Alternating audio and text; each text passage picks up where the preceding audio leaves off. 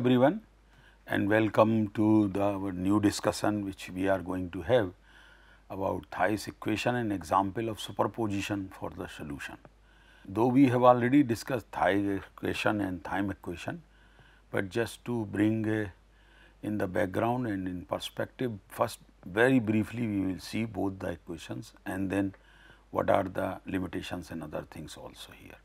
So, let us start. As we know that the in 1935 the hydrologist uh, C. V. Theis of USGS developed a, a, equation which is applicable under non-steady conditions because uh, getting information in steady conditions is much easier, but uh, getting you know hydraulic characteristics of an aquifer in non-steady conditions is challenging.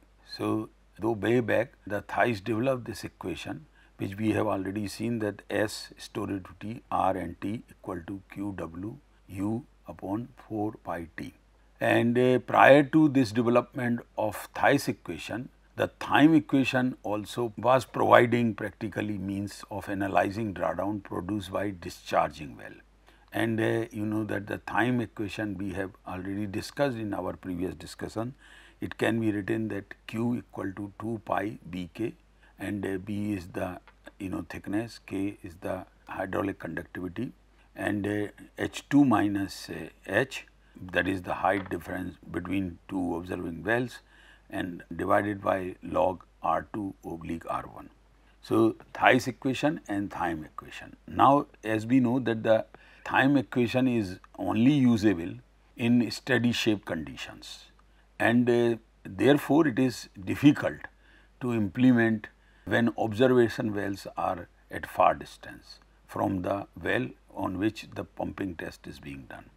And uh, you know in real ground situations many times observation wells are not in uh, close by of the uh, the well which is being used for uh, pumping or finding out the characteristics of an aquifer. So, therefore, uh, this uh, Thiem equation becomes unusable. So, in that situation it poses a limitations or severe limitations for many types of aquifers especially those uh, aquifers which are having uh, large storage coefficients and that means that it requires a long pumping period to develop a steady shape conditions. Now, if an aquifer is having uh, as we see here uh, that if uh, it is having large storage coefficient and can happen many times then uh, especially in sedimentary rock formations and then uh, you require a, a, very long time period, maybe many days together to achieve a steady shape condition. So, that uh, that kind of requirement is with this uh, Thiem equation is having. Now, whereas the Theis equation is uh, discussed just now that it is for the non-equilibrium also called a non-equilibrium uh, equation that means we can also apply for uh, non-steady uh, conditions. So, this is written like H 2 minus H equal to Q upon 4 pi t and integration u to infinity e power minus u du upon u, where u which we are taking here is r square upon s that is storavity and the distance or you can say radius of a cone of depression divided by 4 capital T and small t. So, we know that in H2 minus H1 as the drawdown at any point in the vicinity of a well, discharging well at a constant rate and Q is of course the discharge of the well, T is the transmissibility. Similarly, we are having another equation in a, a more uh, brief manner that H0 minus H uh, can be written as Q W U divided by 4 pi T. So, in this way the equation can also be written and uh, so uh, where we have already discussed that uh, u stands for r square s upon 4 uh, t t.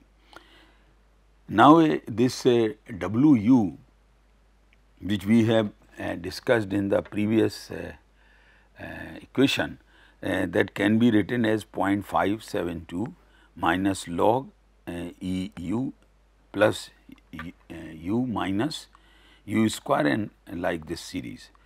So, R of course is the distance from the discharging well, S is the storage coefficient and T is the time since pumping started. So, when we put all these uh, values, uh, we get uh, information about and how much drawdown has occurred because drawdown cannot be seen. So, only it has to be estimated. So, the coefficient of uh, transmissibility and storage uh, can't be determined directly from equation 1 which is given here which we have also seen just previously. Uh, because uh, T that is transmissibility occurs both in the argument of the function and, and as a divisor or the exponential integral. And therefore, uh, we can write a, a little different uh, way as just uh, seen previously that uh, the first equation which we have discussed the storageability equal to q upon 4 pi t and then and u also we have written. So, now this uh, can be written as s equal to q 4 pi t and then uh, minus, uh, 0.5772 minus log e u and this series. So, this equation can be simplified as shown in the equation 4 that is storageability equal to q upon 4 pi t and multiply by and w u. So, in this way we can simplify this equation. Now, you know the Theis equation devised a graphical method. As earlier also we have seen that there are graphical methods which makes uh, uh, easy or possible to obtain solution of the equations. And uh, because we are having while pumping is being done, we are having only limited data. So, based on that limited data, we can have a graphical method to find out hydraulic characteristics of an aquifer. So, here we are having plotting u here and storativity is getting plotted here and then we what we try to see the matching points which are there and on this axis we are having r square divided by t and on on the other y axis we are having on the right hand side we are having u w. So, by this uh, uh, graphical method uh, it becomes possible for the find out the solution. So, this method utilizes a type curve these are all called type curve so, when your value comes you have to match the point and accordingly then other rest of the information can be obtained. So, uh, this is a, a WU uh, versus U on the logarithmic paper and the rest are uh, it is not you know semi logarithmic please uh, uh, remember that one. so, this is important point here in earlier graphical methods which we have seen we are on semi logarithmic scale or on semi logarithmic graph. Now, the drawdown measurements that is H2 minus H made during the pumping test are also plotted on the logarithmic paper uh, versus which is versus the distance uh, acquired and divided by the time since pumping started that is r square upon t. So, earlier we uh, earlier we have used these two uh, axes, now we are using another. Uh, so, this becomes our another uh, x axis and then of course, the y axis. So, later the plot uh, the uh, plot of drawdown is superimposed over the type curve as you are seeing here and the values of W u, u h 2 minus h and r 2 divided by t are selected at any uh, convenient point and uh, substituted and that can be substituted in equation 1 and 2 which we have earlier discussed. So, when we uh, get these values substitute there uh, we can have uh, our uh, hydraulic characteristics of the aquifer which is under analysis or in consideration. So, later this uh, uh, plot of drawdown is superimposed that is why this method is called superimposing uh, over the type curve and values of these are selected for convenient plot. You know a well penetrating a confined aquifer is pumped at a uniform rate of about 2500 cubic meter per day. So, you know long you know for very long time and uh, with a uniform discharge it is done. But this we are talking about in confined aquifer conditions. So, in which uh, we get all these uh, recordings that uh, T started that is 0, S and M then R square upon T that is and this S storavity in, in, it is given here and then R square um, upon T that is uh, uh, square meter per minute T and other values are there plus their units are also there. R value is also in this example is given that is 60 meter.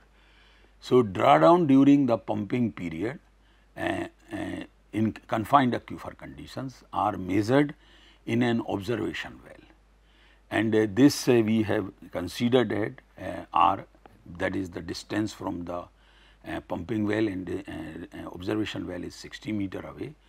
So, that observations of T and S are listed as we are seeing in the table. So, using the uh, Theis method uh, we can determine the T that is transmissibility and storage coefficient or storativity of this uh, confined aquifer which is under consideration for which pumping has been done. Now, values of R square and T which is in square meter per minute are computed and appear in the right column of table 1. So, these are the values uh, which are given here and uh, values of uh, W and uh, U from this uh, table 2 are plotted on another sheet of log paper of the same size and scale and a curve is drawn through the points. So, here like uh, matching points, so you can shift uh, uh, these two curves, one maybe on the transparent sheet, another one on that and uh, there you uh, uh, try to fit these the values. So, the two sheets are superimposed that is why it is called superimposed method and shifted with coordinates axis parallel until the observational points coincides with the curve in, in the left figure. So, here what we are getting this is our match point as per and these two uh, you know plots are there and then we get these values of uh, here we get the values of uh, u r square t whatever uh, is uh, required or to be determined. Now, a convenient match point is selected with when with the W u that is uh, equal to 1.0 here in this example and a u as uh, 1 multiplied by 10 to the power minus 2. So, u multiply by 10 to the power minus 2. So, these two values we have taken and r square upon so that s is 0.18 meter and then r square upon t that is 150 square meter per minute. So, we get a value that is 2 lakhs 16,000 square meter per day. In this way, we get the rate that is the withdrawal from the water. Now, this uh, from the following equations that is the equation number 4 mark here and uh, the storativity as you have seen. Uh, so, that uh, we can uh, get the uh, now this equation T and that is transmissibility and we can substitute these values in this equation Uh, the value which we have determined. So, we get a 1110 square meter per day. So, using the uh, this uh, following equation which is as a storativity equal to 4 T u upon R square T and substituting these values which we are getting now here like this one earlier we get 1 multiply by 10 to minus 2 and also we got this value about uh, uh, 2 lakh 16,000 uh, square meter per day. So, when we put all these we get these values which is about storativity and of course, uh, storativity as you know is a ratio quantity and will not have any uh, units here. So, with this uh, I uh, thank you very much and this is I would say here that the, the methods which we have discussed are little older methods, but they are very useful in the field investigations or when pumping is being done because all kinds of computation facilities might not be available in the field. So, uh, during that the, these graphical methods becomes very very useful to determine all those things. Otherwise, uh, of course, nowadays lot of uh, softwares have all are available where the whatever the values which we determine we can determine in the field are fed into the software and, uh, and the result of, uh, or the storability or transmissibility can be determined. Uh, but uh, when you are in the field then it becomes challenging to use all these uh, you know uh, softwares. Another uh, thing is that one should also know uh, for better understanding about aquifer characteristics or hydraulic characteristics of an aquifer that how these values are coming, how these in what way these softwares are working and therefore initially we have to understand theoretically and through graphical methods that how these values are determined storability and transmissibility. With this I thank you again.